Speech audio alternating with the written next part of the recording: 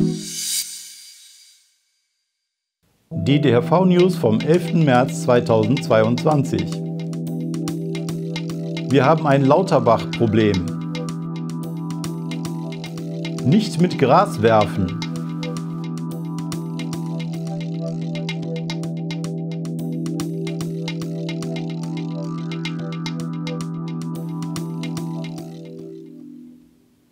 Herzlich willkommen bei den DHV News.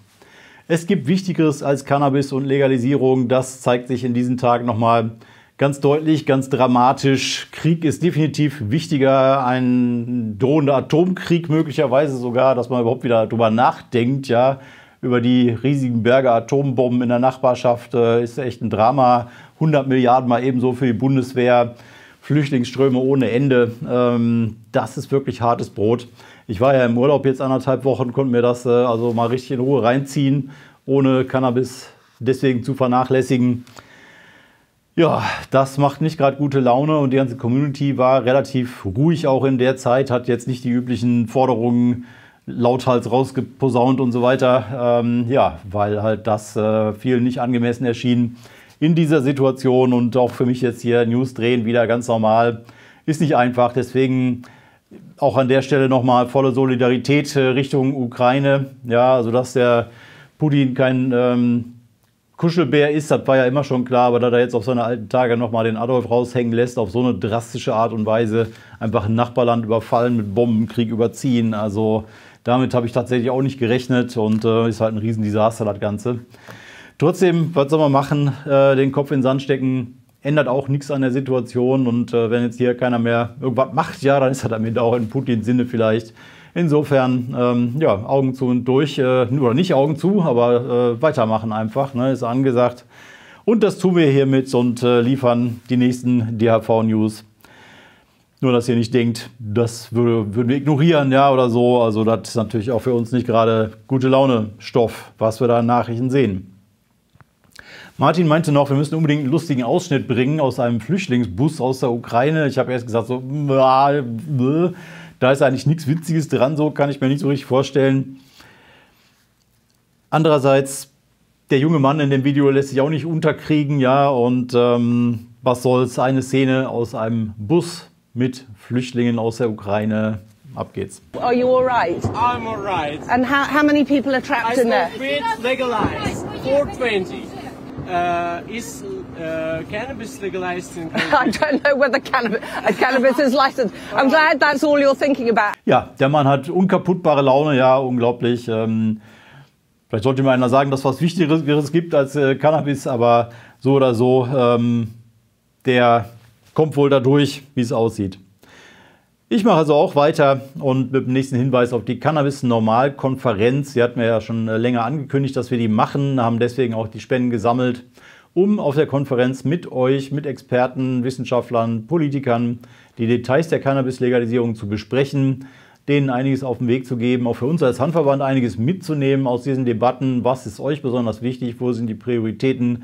Wie rum soll man bestimmte Regelungen stricken. Da gibt es ja so viele Details. Ich habe da hier schon einiges gebracht. Kommt auch gleich nochmal einiges dazu zu dem Thema Details.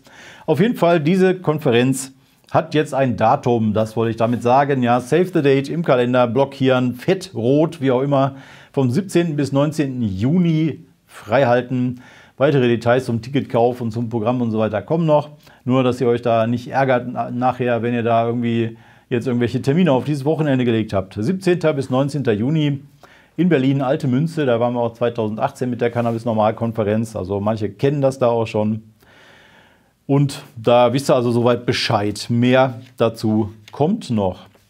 Und noch eine letzte Bemerkung. Ich war zusammen mit äh, Kollegin Maria vom Handverband bei Burkhard Blinert zum ersten Mal Antrittsbesuch beim neuen äh, Drogenbeauftragten.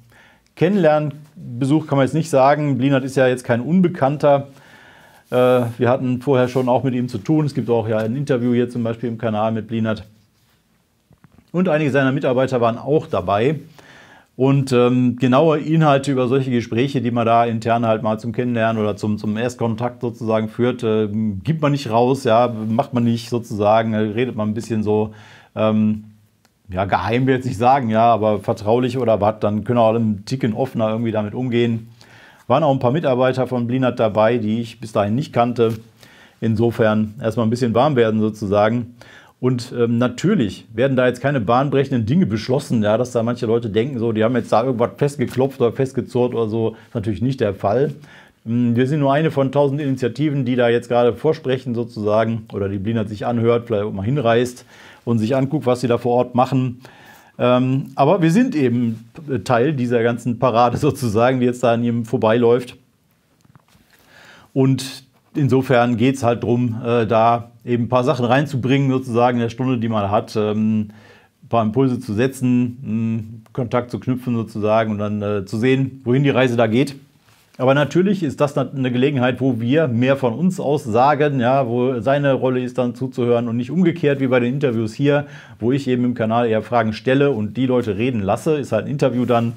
Diese Gespräche haben einen anderen Zweck, da äh, hören die Politiker uns eher zu und wir versuchen sie von bestimmten Details zu überzeugen, was unsere Hauptforderungen sind. Wisst ihr ja, äh, schnelle Entkriminalisierung zum Beispiel, Führerschein, Eigenanbau, solche Dinge. Äh, aber wie gesagt, da wird nichts beschlossen, sondern da hört man sich zu. Wir bleiben auf jeden Fall dran und drin in diesem ganzen Prozess zusammen mit vielen anderen NGOs und so weiter, äh, um da sinnvolle Regelungen im Sinne der Konsumenten und der ganzen Gesellschaft durchzusetzen. Und wie dick die Bretter sind, die wir da noch zu bohren haben, zeigt ein Lauterbach-Problem, das wir haben. Das ist schon fast zwei Wochen her. Oder wenn die News online sind, ist es zwei Wochen her. Das ist also ungefähr beim nach, kurz nach dem Dreh der letzten News ist es gekommen. Vor zwei Wochen schon ein Interview mit ähm, Lauterbach bei Thilo Jung, wo er halt danach gefragt worden ist, wann jetzt die Legalisierung kommt. Und das Ergebnis seht ihr hier. Ja, apropos Koalitionsvertrag und bevor ich es vergesse, äh, wann kommt denn die Cannabis-Legalisierung? Ja, die war jetzt in der ersten Phase der also äh, Regierungsarbeit keine Priorität, das Wieso? ist klar. Wir haben sehr viel Arbeit zu leisten und äh, da war, waren meine Energien also da konsumiert durch die Bewältigung der Delta ist und das so kompliziert, das zu legalisieren? Ja, das ist schon relativ kompliziert. Man muss sich schon relativ genau überlegen, also wie wird die Qualität gesichert, wer darf also. Wann bekommen denke, wir die Legalisierung? Äh, auf jeden Fall in dieser Legislaturperiode. Das, das wird auf jeden Fall kommen. Also die das, also ob das in diesem Jahr noch kommt, weiß ich nicht. Wir, wir, wir machen jetzt eine Vorhabenplanung. Ich habe eine Vorhabenplanung gemacht der Dinge, die wir in diesem Jahr noch machen wollen. Und das ist schon ein Steht sehr. Da Cannabis drauf?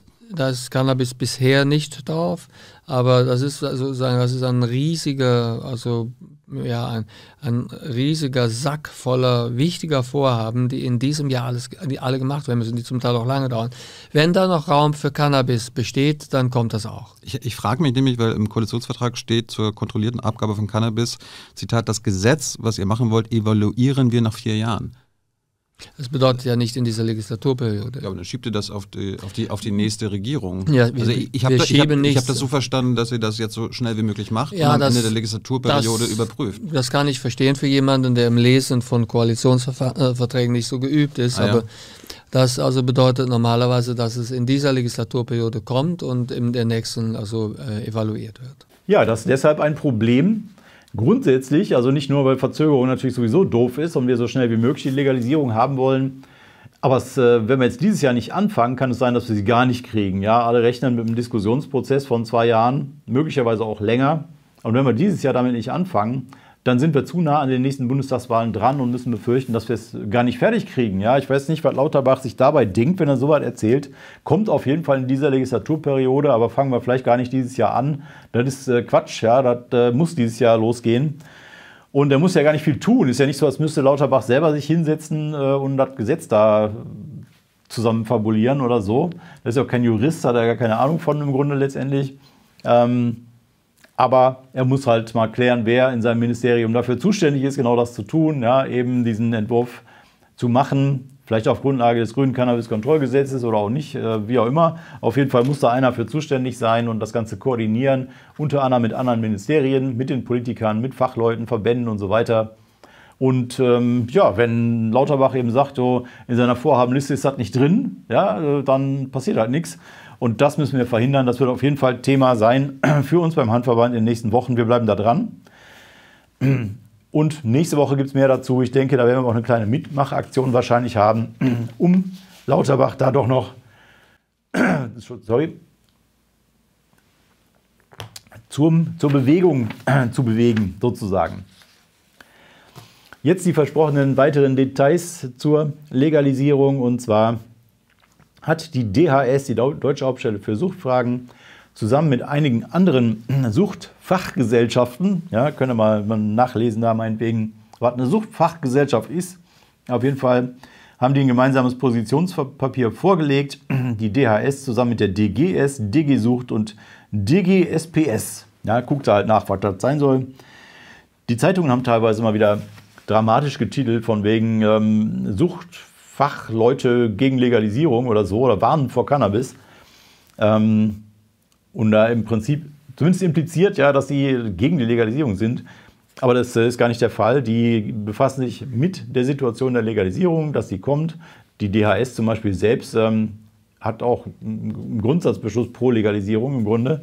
Also die haben da gar nichts gegen, aber sie machen sich halt Sorgen oder um, um Jugendlichen, ja, wie immer, und äh, um die Risiken überhaupt von Cannabis und dass man das eben so regulieren muss, dass möglichst wenig Risiken auftauchen. Ist ja im Grunde auch richtig, sehen wir auch so. Aber ein paar Details aus deren Vorschlägen die ich eben nicht besonders toll finde, ja, ähm, nenne ich hier mal. Und zwar zum Beispiel wird vorgeschlagen, dass die Verkaufsstellen einen Mindestabstand zu Schulen und Jugendfreizeiteinrichtungen einhalten müssen. Das ist zum Beispiel so ein Punkt, den die Holländer auch schon ewig machen, Abstand zu Schulen für die Coffeeshops, was ich nicht für besonders zielführend halte. Ja, ich habe hab auch eine Kneipe neben der Schule gehabt damals, wo Alkohol halt ausgeschenkt wurde. Ich glaube, ich war da nie drin, in meinem Leben nicht ein einziges Mal und habe deswegen bestimmt äh, keinen halben Liter Bier mehr getrunken, weil der die Kneipe war. Aber es schränkt halt Möglichkeiten ein, sozusagen, ähm, bis hin zu, je nachdem, wie groß der Radius ist, dass man kaum noch Orte hat, wo überhaupt dann äh, so ein Laden aufmachen kann, ohne dass ich da jetzt irgendeinen großartigen Sinn drin erkenne.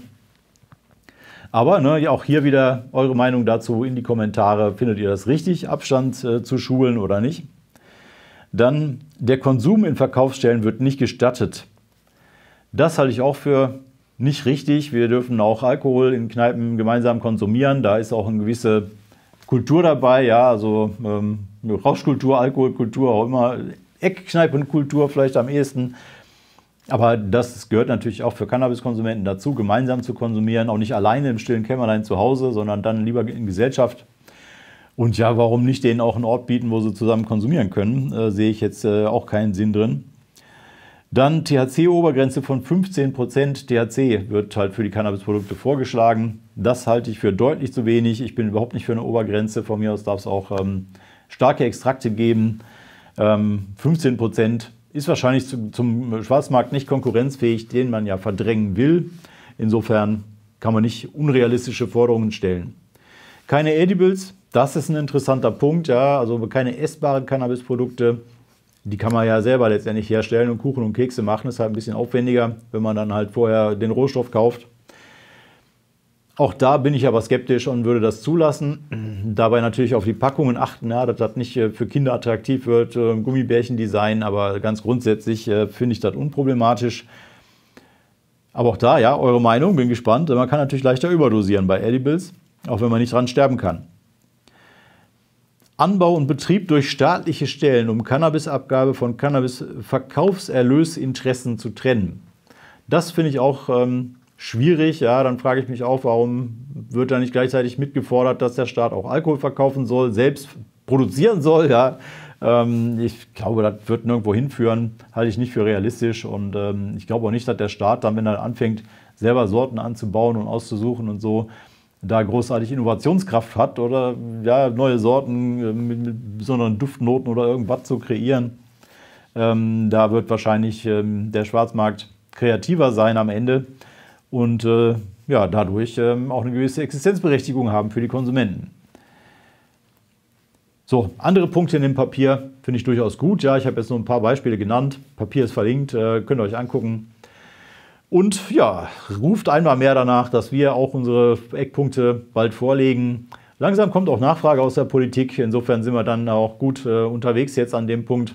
Äh, wenn wir das vor Weihnachten gemacht hätten, ja, wäre das noch viel zu früh gewesen. Jetzt werden wir damit ganz gut reingerätschen in die Debatte.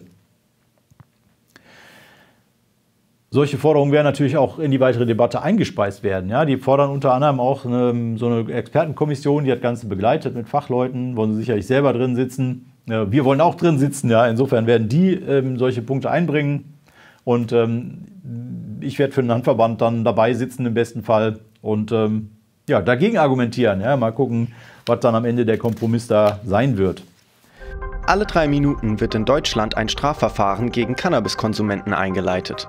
Das sind laut polizeilicher Kriminalstatistik über 186.000 pro Jahr.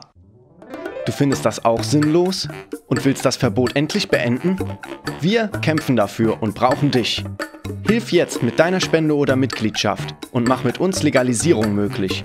Für nur 5 Euro pro Monat. Schluss mit Krimi. Cannabis normal. Einfach online anmelden unter www.handverband.de unterstützen. Link in der Infobox.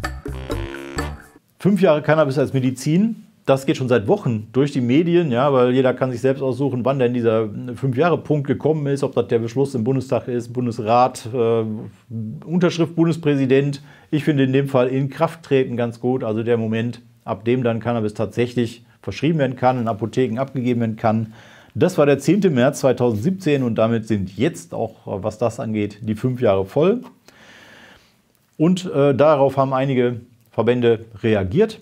Unter anderem der Branchenverband Cannabiswirtschaft zusammen mit dem VCA, also Verband Cannabis äh, verkloppender Apotheken. Die haben eine gemeinsame Pressemitteilung rausgegeben und die bestehenden Probleme nochmal dargestellt und äh, Lösungen vorgeschlagen und gefordert. Und die ACM auch, die Arbeitsgemeinschaft Cannabis äh, für Cannabinoid-Medikamente. Ähnlich nochmal auch per Pressemitteilung. Ist alles verlinkt, könnt ihr euch angucken. Und das sind halt die üblichen Themen, die auch wir vom Handverband schon seit Jahren vorbringen und bei jeder Gelegenheit äh, ja, in, die, in die Gesellschaft, die, die, politischen Diskussionsprozesse einbringen, ja, wenn wir Abgeordnete vor der Nase haben oder wenn wir von Presse danach gefragt werden. Ein Beispiel ist diese Praxis der Krankenkassen, jede Menge Anträge auf Kostenerstattung abzulehnen, ja, einfach zu sagen, machen wir nicht. Ähm, ein Drittel der Fälle ungefähr und viele andere Sachen als Schmerzen werden schon gar nicht mehr beantragt, weil da die Quote noch geringer ist. Also die bremsen das Ganze aus, die verhindern, dass ähm, bedürftige Leute Cannabis als Medizin kriegen. Und das muss abgeschafft werden, nur mal als ein Beispiel. Ich habe euch auch nochmal eine Stellungnahme von mir für den Bundestag verlinkt äh, von der letzten Anhörung Cannabis als Medizin, wo ich das auch ähnlich auseinandergedröselt habe. Also da stehen wir an fast allen Punkten dahinter. Gute Aktion von den Kollegen, alles verlinkt in der Videobeschreibung, da könnt ihr nochmal nachgucken. Was aber auch nicht verschwiegen werden sollte, vor dem Gesetz 2017 gab es 1000 Leute in Deutschland, die per Ausnahmegenehmigung Cannabis als Medizin bekommen haben aus der Apotheke. Jetzt, fünf Jahre nach dem Gesetz, dürfte die Zahl über 100.000 Patienten liegen, die mit Cannabis versorgt werden, legal aus der Apotheke. Und das ist eine Verhundertfachung ja, der legalen Cannabis-Patienten in fünf Jahren. Das ist auch nicht so ganz schlecht, ja, muss man vielleicht in dem Zusammenhang auch nochmal sagen. Aber viele sind eben noch nicht versorgt. Gamechanger war das ganze Ding trotzdem. So, jetzt noch zwei skurrile Sachen hintereinander. Ja, das eine ist ein Maskenverweigerer, der die Polizei mit Drogen bestechen will. Ja, dolle Geschichte. Da zitiere ich mal ein bisschen aus der DPA-Meldung hier von Zeit.de. Ein Maskenverweigerer hat im Dortmunder Hauptbahnhof vergeblich versucht, Polizisten mit Drogen zu bestechen. Wie die Bundespolizei am Mittwoch mitteilte, hatte der Beamte den 19-Jährigen angehalten, weil er keinen Mund-Nasenschutz trug. Bei der Kontrolle habe er sich laut Polizei nervös verhalten. In seinen Hosentaschen fanden die Beamten Amphetamine. Mehrere, ja, äh, Mehrzahl. Keine Ahnung, wie viele Amphetamine er jetzt dabei hatte. Drei oder vier Amphetamine in der Tasche. Ja, das, geht nicht hervor aus der Meldung, ja, was die sich darunter vorstellen. Ähm, dass der Typ nervös war, wenn er ohne Maske da rumläuft und ähm, Speed in der Tasche hat, ist auch kein Wunder. Ja. Vielleicht war das so eine Art Mutprobe oder so. Oh, ich gehe jetzt ohne Maske durch den Bahnhof mit Speed in der Tasche. Keine Ahnung, ja. Ähm, aber dass der Kollege auch nicht besonders hell war, zeigt sich dann, als er dann den ähm, Polizisten angeboten hat, die Drogen zu behalten. Ja. Daraufhin habe der Mann angeboten, ihnen die Drogen zu schenken, wenn sie ihn dafür gehen lassen würden. Ja, das ist natürlich auch Quatsch, ja, weil das sowieso beschlagnahmt wird. Und wenn, wenn da korrupte Polizisten sind, die sich für Drogen interessieren, wir halten die das eh. Ja, das ist jetzt keine dolle, dolle Schenkung vom, vom Betroffenen da. Ähm, und dann geht es weiter. Als die Polizisten nicht darauf eingingen, sei der Verdächtige immer aggressiver geworden, sodass sie ihn mit zur Wache nahmen. Die Polizei leitete ein Strafverfahren gegen ihn ein. Ja, richtet sich auch noch auf, weil die Polizei irgendwie seine Drogen nicht geschenkt haben will, äh, um, um sie damit zu bestechen. Vielleicht keine gute Idee auch. Ähm, naja, also skurril auf jeden Fall die Nummer. Und davon habe ich noch eine, nächster Fall aus Bayern. Ich habe ja hier schon mehrfach betont, dass Cannabis nicht harmlos ist und scheinbar macht Cannabis auch lärmempfindlich. Wir hatten ja letztens schon mal hier vor kurzem eine Geschichte von jemandem, der sich über Baulärm beschwert hat und dann die Bauarbeiter mit Eiern beworfen hat. Und ähm, dann wurde bei ihm zu Hause, als die Polizei dann kam, eine Cannabisplantage gefunden. Ja, und ich habe gesagt, Leute, ähm, wer Cannabis anbaut, sollte nicht Bauarbeiter mit Eiern bewerfen. Und scheinbar hat auch die Frau das gesehen, um die es jetzt hier geht, aber nicht mehr so richtig sich daran erinnert, ähm, irgendwie was falsch verstanden. Jedenfalls hatte die auch Lärm vor der Tür, ja, lachende Jugendliche und hat sich vielleicht erinnert, ah, DHV-News, da war was mit Lärm und Werfen und, und Cannabis irgendwie. Und dann hat sie eine kleine Menge Gras nach den Jugendlichen geworfen, hat gesagt, das sollen sie mal aufheben und irgendwo anders hingehen, das rauchen, damit da nicht so ein Krach hier bei ihr vom, vom Fenster mehr ist.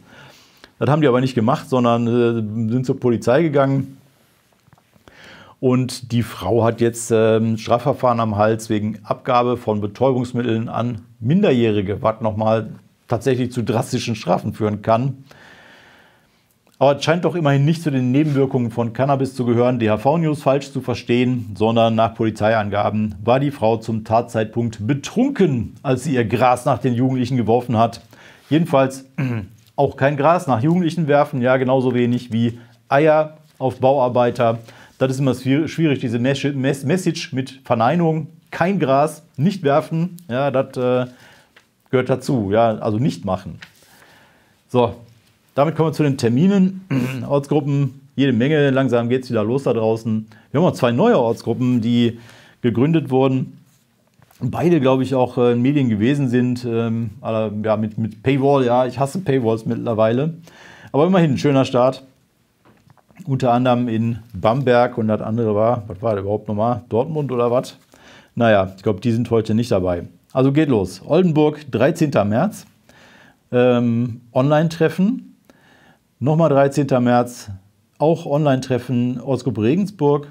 Dienstag, 15. März, Heidelberg, offener Hanftisch, klingt nicht nach Online. Hamburg wieder online, 15. März. Ortsgruppe trifft sich. Basteltreffen, das ist garantiert nicht online. In Braunschweig, Mittwoch, 16. März. Am selben Tag in Traunstein ein Hanftisch der Ortsgruppe Chiemgau. Bamberg, da sind sie, Treffen der DHV-Ortsgruppe am Freitag, 18. März. Nochmal Freitag, 18. Stuttgart, Treffen der Ortsgruppe. Heidelberg, Infostand, der erste und einzige Infostand, 19. Samstag, 19. März in Heidelberg. Auf den letzten Metern verkratzt mein Hals hier noch. Oldenburg, Sonntag, 20. März, online Hanfschnack. Und zuletzt Heidelberg, nochmal der Hanftisch, diesmal online, der Ortsgruppe Rhein-Neckar, Dienstag, 22. März. So. Wenn euch meine Hüstelei hier fürchterlich missfallen hat, dann drückt den Dislike-Button. Wenn euch das Video ansonsten einigermaßen okay gefallen hat, Daumen hoch. Und natürlich den Kanal abonnieren, die Glocke beklingeln da irgendwie, ne, damit ihr da auch mitkriegt, wenn hier noch äh, weitere Videos hochgeladen werden. Manchmal kommen ja auch welche zwischen den News und ein paar Interviews sind auch schon wieder in der Pipeline. Und damit wünsche ich euch noch einen schönen Tag und einen geruhsamen Abend.